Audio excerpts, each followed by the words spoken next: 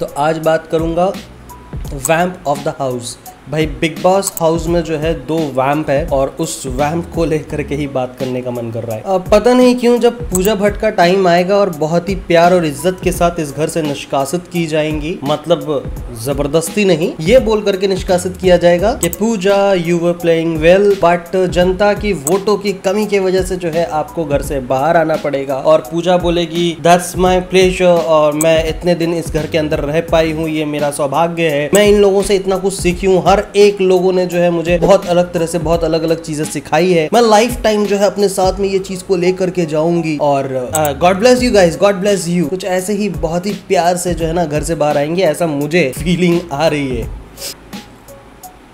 अब मैं इस मैडम को क्यों वैम्प ऑफ़ द हाउस मानता हूँ? क्योंकि ये एक ऐसी कॉन्टेस्टेंट है कि भाई ये घर के अंदर में जितने लोग बुरे काम करते हैं, उन सबको बुला करके, फुसला करके बोलती है, नहीं, मेरा बच्चा, तुम सही जा रहे हो, उनको तमीज नहीं है तुमसे बात करने की। हाँ यहाँ पे बेबिका को इतने बुरे तरह से सपोर्ट किया जा रहा है और शायद पूजा भट्ट मैम को जो है ये समझ में आ चुका है कि किसके साथ रहना है, किसके साथ नहीं रहना है, किसके अगेंस्ट खड़े होने हैं और किसके अगेंस्ट खड़े होने पे हमें क्या मिलने वाला है।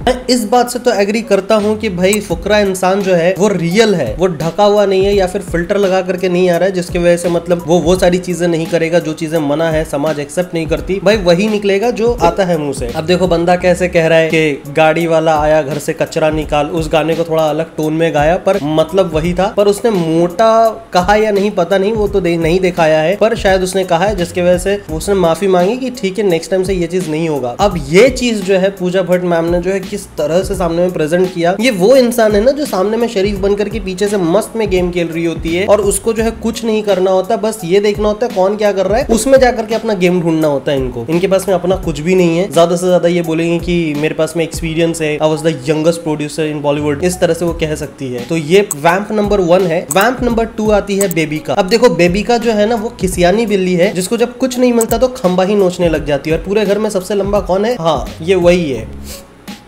फुकरा इंसान।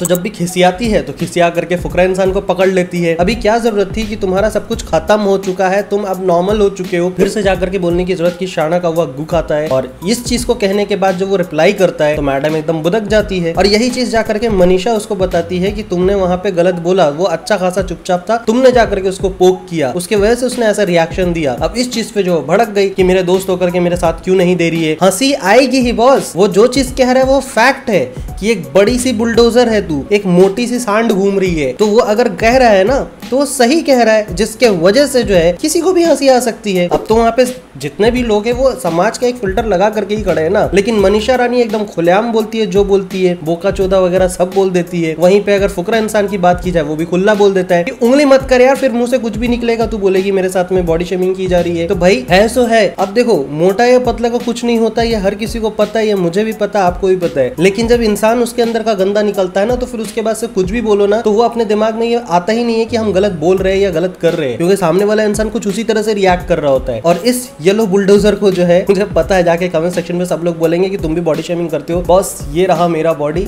I am a full fatty person तो मुझे पता है मैं क्या बोल रहा हूँ। पहली बात ये कि भाई, तुम जाके उंगली क्यों करती हो? जब कुछ नहीं रहता। और ये क्या होता है?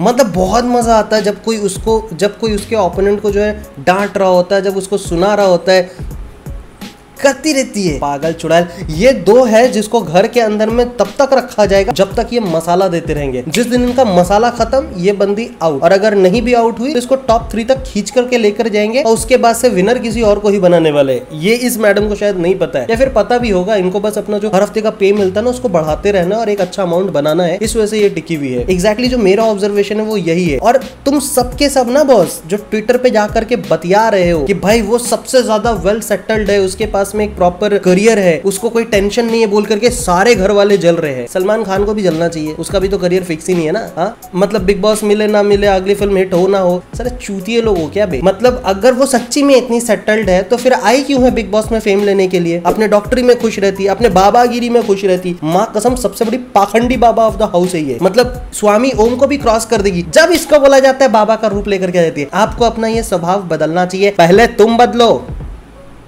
मैं इतना क्यों चिल्ला रहा हूँ इस पर so that's it from my side that was my observation and this was the discussion ऐसे और डिस्कशन गॉसिप्स और रिव्यूज़ के लिए जो चैनल को सब्सक्राइब करो। मिलता हूँ नेक्स्ट वीडियो में। तब तक के लिए स्वस्थ रहो, मस्त रहो, ज़बरदस्त रहो।